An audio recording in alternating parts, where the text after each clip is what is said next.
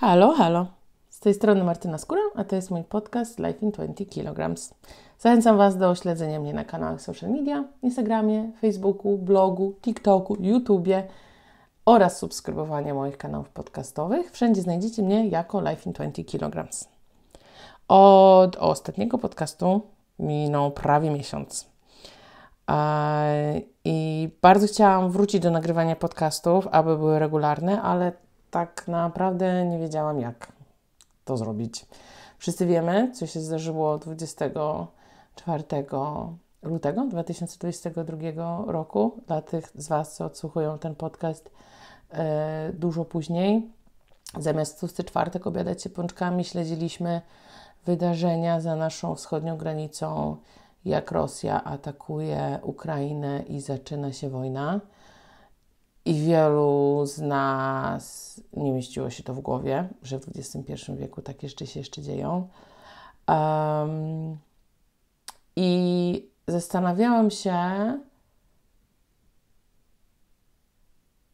co ja, jako Martyna Skóra, osoba, ale też co ja, jako twórczyni e, internetowa, mogę z tym zrobić. Czy mogę jakoś pomóc, czy może Czasami najlepszym sposobem pomocy jest po prostu nie przeszkadzać. Nie jestem dziennikarką wojenną ani specjalistką od geopolityki, więc nie chciałam zaśmiecać internetu kolejnymi powtarzanymi informacjami, bo przecież ja nie będę miała żadnych nowych informacji. Ani nie jestem na froncie, ani yy, nie zajmuję się polityką, więc nic nowego bym nie, yy, nie powiedziała. Oddałam przestrzeń bardziej znanym i specjalizującym się w tej dziedzinie osobom. Um, I zaczęłam się zastanawiać, czy nie skupić się na tym, w czym dobrze mi idzie i na czym się znam, mianowicie na pomaganiu. Um, I czy w ogóle opowiadać o pomaganiu, bo panuje takie przekonanie, że pomaga się po cichu, e, skromnie, nie, nie wybija się na tym, nie robi się sławy, klików, followersów i tak dalej. Na pomaganiu, na wojnie, na tragedii innych osób, ale czytałam kilka dyskusji w internecie, e, mądrzejszych głów ode mnie. Rozmawiałam z innymi twórcami w internecie, rozmawiałam z moją siostrą. I długo o tym myślałam. I jednak postanowiłam opowiadać o tym, opowiadać o, e, o pomaganiu, o tym, co ja robię. E, skupiłam się na dokumentowaniu tego, jak ja pomagałam albo jak inne osoby pomagały e, i skąd ta zmiana zdania, ponieważ wiem, że może to pokazać innym, jak można pomagać. Bo pomocą nie jest tylko wyjazd na granicę i bycie na pierwszej linii frontu na dworcu w Przemyślu, ale również inne sposoby pomocy, lokalne chociażby. Um, mogę pokazać, jaka pomoc jest zbędna lub nieadekwatna, gdzie ta pomoc jest potrzebna, że efektywniejsze może być działanie lokalne, a nie rzucanie swojego życia i jazda na drugi koniec kraju. o tym, jak pomagać, e, o tym, jak nie pomagać i o tym właśnie, że czasami najlepszą pomocą jest po prostu nieprzeszkadzanie. I dlaczego uważam się, że mam jakieś kompetencje lub wiedzę na ten temat. Ci z Was, którzy nie znają mnie jeszcze, a ci z Was, co mnie znają, wiedzą, że ja prawie 10 lat byłam wolontariuszką pracowałam dla Polskiego Czerwonego Krzyża. E, przez ponad 15 lat byłam związana z różnymi organizacjami pozarządowymi w Polsce, w Europie, na świecie. E, ponad 15 lat zajmowałam się w mniejszym lub większym stopniu zarządzaniem wolontariuszami i projektami. Także mam według mnie wiedzę i doświadczenie, a ostatni miesiąc to tylko udowodnił, że mogę coś na ten temat powiedzieć. I chciałabym Wam teraz pokazać moją taką drogę pomagania tego, czego ja się nauczyłam przez ostatni miesiąc i tego, czy mogę się podzielić, czy może zainspirować inne osoby, czy może uwrażliwić na niektóre e, tematy. Um, osoby, które chciałyby pomóc, albo osoby, które z jakiegoś powodu czują się, że nie pomagały wystarczająco, albo w ogóle nie pomagały, co też nie jest złe. E, to wszystko jest ok. Mm, podobnie jak wielu z Was, ten pierwszy weekend wojny był e, no, jak obuchem w potulicę. Byliśmy wszyscy w szoku i mnie ogarniał niepokój. Strasznie się, strasznie byłam taka poddenerwowana.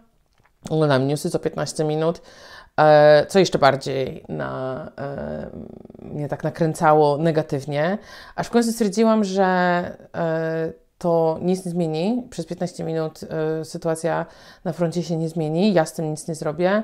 I stwierdziłam, że lepiej się przydam do czegoś, do czego, że po prostu przydam się do czegoś, E, w czym jestem dobra, niż e, do scrollowania internetu. I od razu po weekendzie poszłam oddać krew, co mi się udało po raz pierwszy od o, z 10 lat. E, moja krew została przyjęta. Tego samego dnia poszłam e, kupić dary i poszłam do Gdyńskiego Centrum Organizacji Pozarządowych, GCOP-u, oddać te dary. I widziałam, że jest tam e, kilkoro wolontariuszy i harcerzy i zapytałam się, czy potrzebuję może pomocy. E, babeczka z GCOP-u wzięła mnie e, na bok i zapytała, a, a może teraz pomóc? Mówię, no pewnie, spoko. I tak zostałam trzy dni. Przez trzy dni zajmowałam się przyjmowaniem darów, sortowaniem ich i wysyłaniem dalej.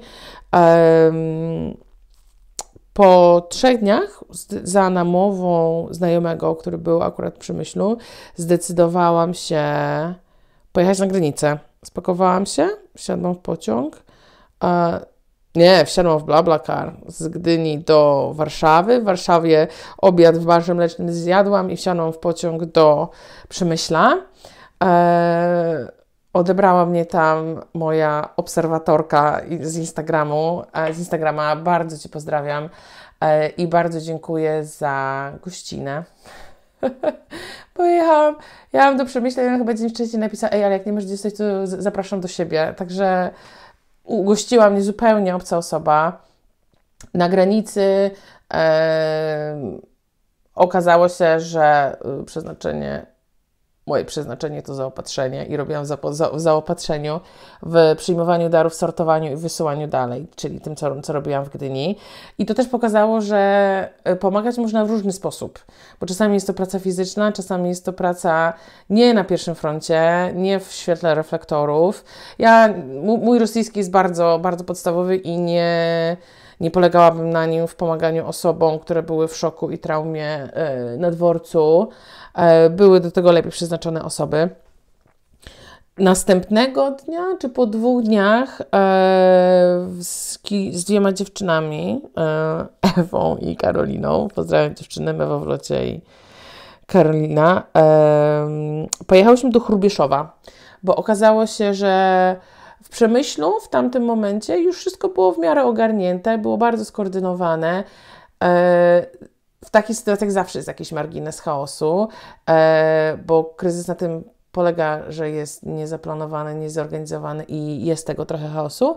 A trafiłyśmy do Chrubieszowa, gdzie mm, spędziłam kilka dni i pamiętam, że poszłam na halę główną, gdzie przyjeżdżały osoby z Ukrainy i z jakiegoś. Musiałam.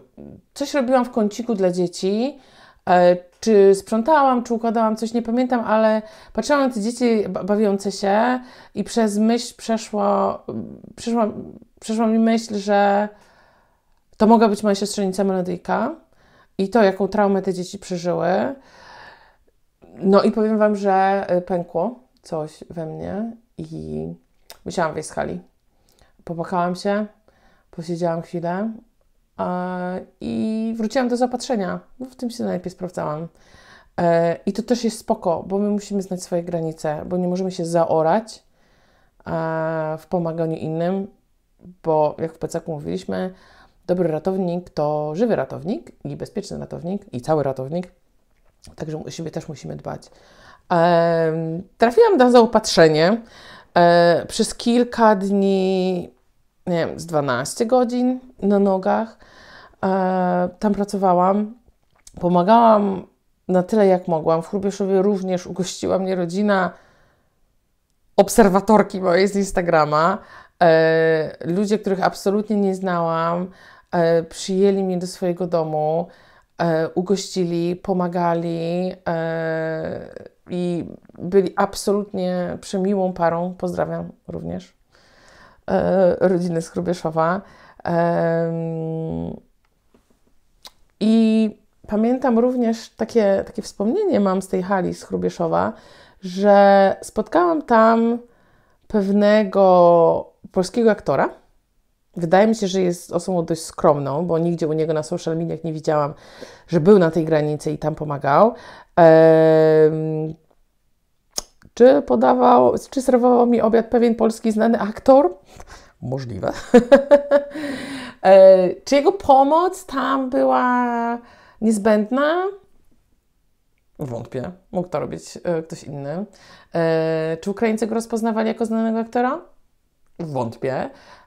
Ale czy e, pomagało to i wzmacniało morale e, wszystkich pracowników i wolontariuszy z Chrubieszowa? Bardzo. Serio. E, pamiętam, że rozmawiałam z jedną z koordynatorek i powiedziała, że ona w życiu nie widziała żadnego celebryty i to, że taka osoba, jak ten aktor przyjechała na granicę, yy, nie obnosiła się z tą swoją pomocą i po prostu pomagała, była, było dla nich takie bardzo budujące. Także pozdrawiam pana aktora. yy, po kilku dniach yy, wyjechałam z Chrubieszowa i pamiętam, że jechałam pociągiem pociąg wyjeżdżał o 5 nad ranem chyba. I ja przyjechałam sporo przed odjazdem, a pociąg już był pełny. Już był pełen osób właśnie z Ukrainy. Udało mi się wcisnąć na schody. E, zaraz przy drzwiach. E, siedziałam tam z taką ukraińską rodziną. Pociąg był zapchany ludźmi. I po godzinie, po dwóch, bardzo mi się ulało serio pękłam i zaczęłam po prostu płakać. A tak mi, tak, tak wzbierały chyba we mnie te emocje. I po kilku dniach wróciłam do Trójmiasta i w drodze powrotnej z Warszawy do, do Gdyni zadzwonił do mnie wiceprezydent miasta Gdyni z propozycją E, koordynacji jednego z punktów recepcyjnych.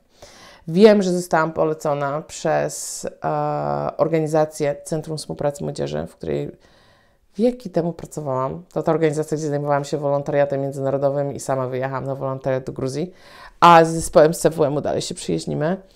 E, zgodziłam się na spotkanie, porozmawialiśmy o tym o tym, na czym polega prowadzenie punktu recepcyjnego. I powiem Wam, że e, uważam tutaj, że wszechświat miał nade mną pieczę, bo dzięki moim wizytom w Przemyślu w Chrubieszowie bardzo szybko poznałam to, jak takie punkty funkcjonują, na co zwrócić uwagę, co oczywiście przydało się w Gdyni. Czy obawiałam się, czy ja się nadaję do, do takiej roli? No pewnie. czy się zgodziłam? Pewnie, że się zgodziłam. E, czy był to błąd? Absolutnie nie. Absolutnie nie. I było to jedno z najbardziej wartościowych doświadczeń w moim życiu. E, została podzielona, e, została mi e, powierzona, powierzona odpowiedzialność postawienia punktu w jednej e, z gdyńskich szkół, E, punkty recepcyjne e, pierwotnie dzieliły się na dwa rodzaje: punkty A i B. Punkty A były takie bardzo przejazdowo-tranzytowe, przelotowe na dzień, dwa i jeżeli osoby z Ukrainy wiedziały, gdzie dalej jadą, czy za granicę, czy mają gdzieś rodzinę, czy mają gdzieś pracę, e, jadą dalej, to po prostu jechały dalej. Jeżeli nie wiedziały, e, co zrobić, gdzie pojechać, nie miały planów, nie miały rodziny ani pieniędzy, to kierowały się do punktów B, czyli takich długoterminowych, z założenia do trzech miesięcy. Myśmy na początku mieli być takim punktem B, w praktyce wyszliśmy, że byliśmy punktem A, ponieważ wszystkie inne punkty A były bardzo przeciążone. E, została mi przydzielona szkoła, e, i tutaj kolejny znak od wszechświata, ponieważ okazało się, że ja znam tę szkołę i znam dyrektora stamtąd, bo ponad 15 lat temu, jak jeszcze byłam w PC, organizowałam tam warsztaty yy, właśnie z pierwszej pomocy i całą czwórkę dzieci pana dyrektora wyszkoliłam w pierwszej pomocy i działaliśmy razem w Czerwonym Krzyżu. Yy, a później przyszło mi współpracować z jego jednym synem, także wszechświat tutaj y, pieczę nade mną miał. Szkoła okazała się super. E, dyrekcja, samorząd szkolny, Rada Rodziców i Nauczycieli byli po prostu e, przycudowni, super pomocni, bardzo zaangażowani. E, udało mi się skompletować zespół bardzo fajnych, odpowiedzialnych i doświadczonych ludzi. E, doświadczenie w wdrażaniu systemów, magazynach, IT, e, emigracji ludzi, e, prowadzenia własnych firm, e, medycyny, ponieważ w zespole mieliśmy również pielęgniarkę. E, myśmy się w ogóle nie znali wcześniej. E, bardzo fajnie się zaczęliśmy uzupełniać i wspólnie działać.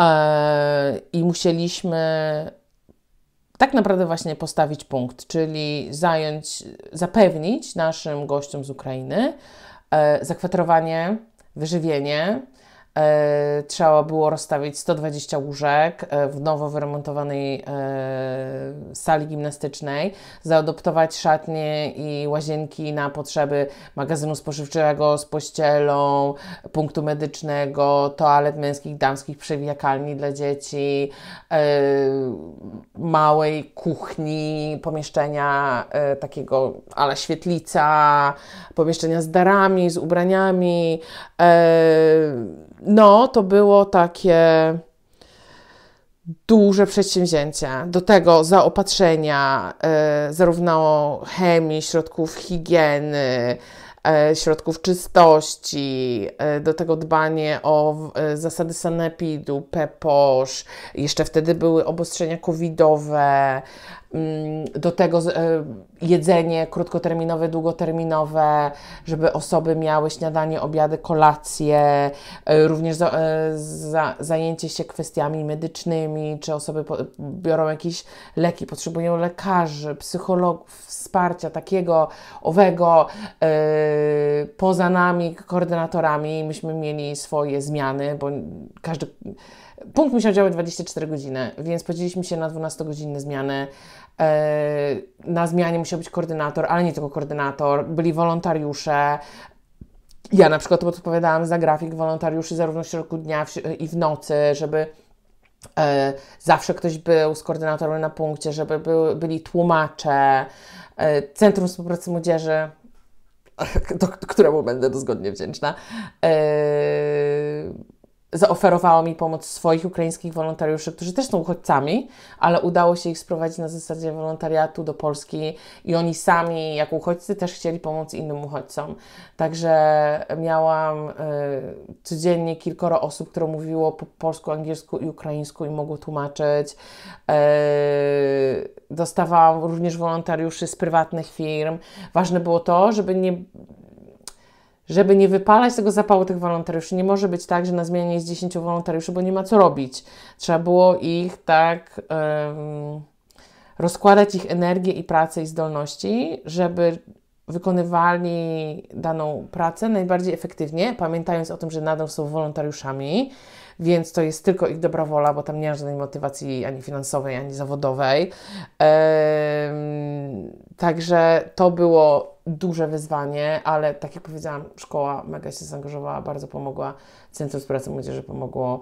E, miasto Gdynia ma w ogóle, miało cały system ludzi odpowiedzialnych, tu za zaopatrzenie, tu za transport, tu za wyżywienie, tutaj za pomoc medyczną, tutaj za pomoc wolontariuszy, e, za relokację. E, cały zgrany system i nawet jak my, ja nie wiedziałam, jak sobie w danej sytuacji poradzić, mogłam, wiedziałam do kogo mogę zadzwonić i prosić o radę albo o przekierowanie mnie dalej, e, co z tym robić. Szczególnie ważne były na początku kwestie medyczne, bo ja nie mieszkam w Polsce od 10 lat i nie korzystam z polskiej służby zdrowia, więc yy, ja tak samo jak osoby z Ukrainy przeżyłam yy, szok kulturowy, jak przyszło mi, yy, przyszło mi współpraca to jest złe słowo.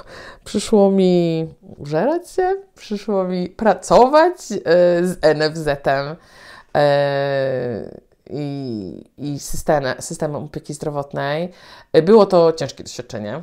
Osoby z Ukrainy nie mogły się nadziwić, że no ale jak to do specjalisty trzeba czekać nie dłużej niż 3 dni, bo u nich jak potrzebny specjalista, to w ciągu 3 dni maks się do, można dostać do, do specjalisty, specjalisty, gdzie się w kolejce siedzi i, i zawsze się to miejsce y, w końcu wysiedzi, a jak przyszło nam umawiać neurologa i wyszło, że jest za półtora miesiąca, co wiele osób z Polski stwierdziło, że to jest bardzo mały, krótki czas oczekiwania, to rodzice y, chłopca, który potrzebował konsultacji neurologicznych, nie mogli się nadziwić. E, także no, był to dla mnie i zarówno dla nich szok kulturowy, ale z takimi rzeczami mu musieliśmy sobie, musieliśmy sobie po, e, poradzić. Um,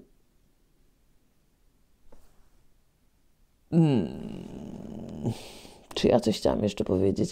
Na pewno, na pewno doceniłam w tym całym doświadczeniu pracę i zaangażowanie wiele osób i zdałam sobie sprawę, jak wiele osób jest zaangażowanych w taki punkt. To nie trzeba być dyrektorem szkoły albo koordynatorem, ale e, tłumacze czy wolontariusze poświęcali swój czas. To było albo w ciągu dnia, albo w nocy, albo w weekendy.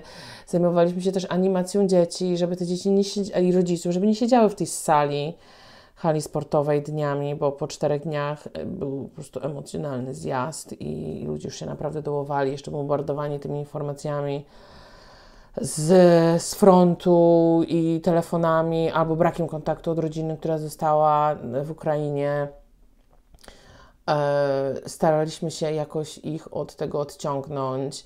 E, doceniam pracę e, dzielnicowego e, tej dzielnicy, który przyszedł i spotkał się z naszymi e, gośćmi z Ukrainy, aby pokazać im i wytłumaczyć, jakie jest e, prawo w Polsce, jakie są ich prawa, obowiązki, ale też przede wszystkim, żeby czuli się bezpiecznie, żeby wiedzieli, gdzie mogą się skierować, jeżeli jest taka pomoc, jeżeli potrzebują pomocy, albo jeżeli coś im się stanie. E, doceniam pracę. E, I teraz tutaj może tak, zrobię krótką przerwę. Chciałabym złożyć hołd, serio, pracownikom MOPS-u i pracownikom społecznym, bo wydaje mi się, że nie zawsze są doceniani, a przez ten miesiąc miałam, e, bardzo dużo z nimi współpracowałam i e, uważam, że jest to bardzo ciężka praca, bo oni spotykają się z ludzką tragedią i nie tylko osób z Ukrainy, ale też w Polsce. To są osoby, które w, y, przeprowadzały takie ankiety i wywiady z każdą osobą z Ukrainy z pomocą oczywiście tłumaczy, ale słyszały straszne historie. Straszne i e, starały się tym, tym osobom jak najbardziej, jak mogły, pomóc. Czy znaleźć pracę, czy skierować do odpowiedniego urzędu, czy znaleźć miejsce w rodzinie, czy e, znaleźć miejsce w jakimś innym mieście, bo duże miasta są już przeciążone. E, bardzo, bardzo doceniam ich pracę. Serio. E, ja wiem, że e, może się polać, e, nie wiem czy fala hejtu, ale różne opinie na temat tej instytucji.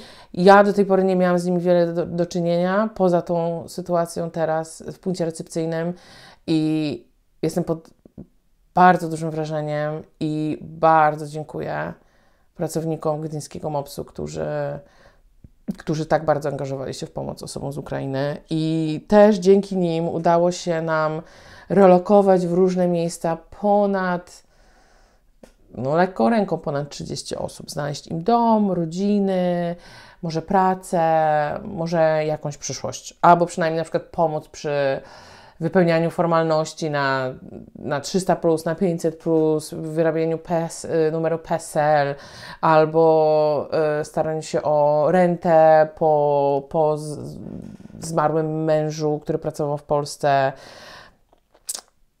Bardzo dziękuję. E, dziękuję bardzo szkole, nauczycielom, Radzie Rodziców, rodzicom, którzy się zgłaszali do nas. Bardzo dziękuję mojemu zespołowi wolontariuszy, koordynatorów i tłumaczy. I na pewno jest um, cała lista takich osób, którym mogę podziękować.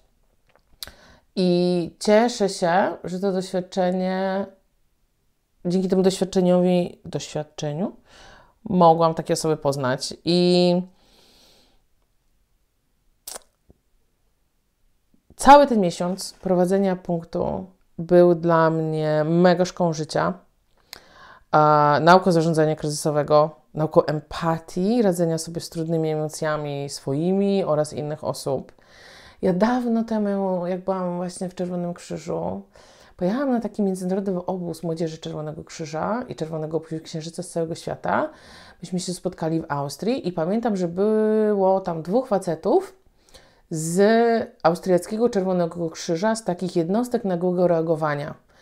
E, to są takie jednostki, gdzie gdy dzieje się jakaś e, tragedia, katastrofa, oni w przeciągu 48 godzin muszą się zgłosić do jakiegoś punktu, są wysyłani na 6 tygodni jako pomoc humanitarna w ogarnianiu pomocy na miejscu i po 6 tygodniach wdraża się już systemy i programy funkcjonowania, także można to przekazać innym organizacjom długoterminowym lub danemu krajowi. I mi się tak mega podobało, mi tak strasznie zaimponowało i ja bardzo chciałam to w życiu robić.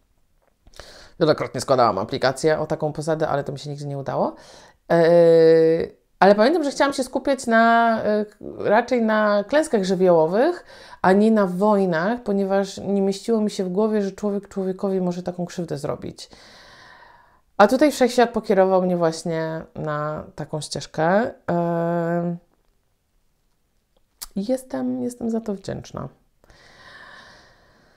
Chciałabym więcej tutaj opowiedzieć, ale yy, opowiadam Wam już prawie 30 minut. Chciałam Wam tylko pokazać, że można pomagać w różny sposób. Można yy, pomagać na początku, ale można również pomagać później, bo teraz robi się ładna pogoda, jest, zaraz będzie Wielkanoc Wielkanoc się skończy, zaraz będzie majówka i już coraz mniej osób będzie chętnych do pomocy, a wolontariuszy i pomoc będzie cały czas potrzebna. Dopóki nie skończy się wojna i dopóki osoby w kryzysie uchodźczym nie będą mogły wrócić do siebie do domu, a to długo potrwa. Także chciałam może zainspirować osoby do pomagania um, może uwrażliwić na tragedię innych osób.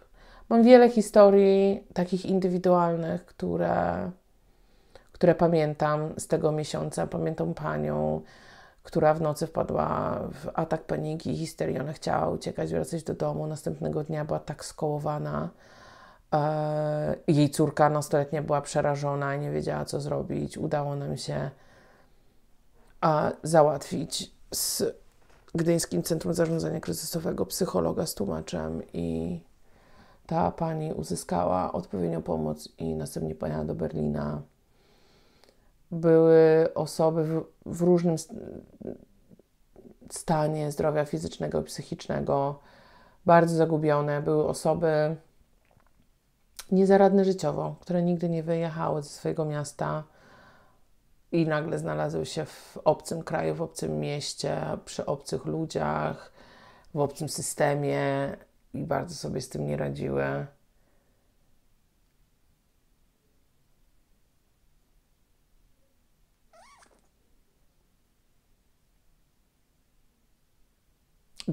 No. Okej, okay, bo, bo ja się tutaj sama zaraz popatrzę. Było kilka takich wzruszających momentów. Pamiętam, gdy okazało się, że trafiła do nas 26-letnia wdowa z 3-letnim synkiem. I ona nie wiedziała, co zrobić, a po kilku dniach przyszło mi powiedzieć jej, że znaleźliśmy dla niej dom i rodzinę, która ją przyjmie i uda się załatwić rentę po mężu. Aż mi się głos złamał, jak ja o tym opowiadałam. Eee, w poniedziałek będę żegnała po, no, z 30 osób z mojego punktu, bo udało się je relokować i znaleźć im miejsce i dom, i rodziny, albo potencjalną pracę. I na pewno będzie to emocjonalne przeżycie. Um, bardzo jestem wdzięczna za to doświadczenie e, w obliczu tej, tej tragedii. Wydaje mi się, że wykorzystałam mój potencjał i w najlepszy sposób, jaki mogłam. To nie znaczy, że y, przestanę pomagać, bo będę pomagała tak, jak będę mogła. Może zdalnie, jako e-wolontariusz z innego kraju, bo za mniej niż 3 tygodnie przeprowadzę się na Maltę i zacznę tam nowy rozdział w swoim życiu. Ale o tym już w innym odcinku. A tymczasem bardzo dziękuję Wam za te ponad 30 minut, które spędziliście ze mną, za to, że znaleźliście czas i cierpliwość w wysłuchaniu mojego monologu i zwierzeń e, na temat ostatniego miesiąca. Zachęcam Was, żebyście śledzili mnie na social mediach, szczególnie na Instagramie, bo tam tak naprawdę najwięcej e, publikuję, a, ale również na Facebooku, TikToku, YouTubie czy blogu oraz subskrybowania moich kanałów podcastowych. Um, życzę Wam dużo spokoju i siły i wytrwałości.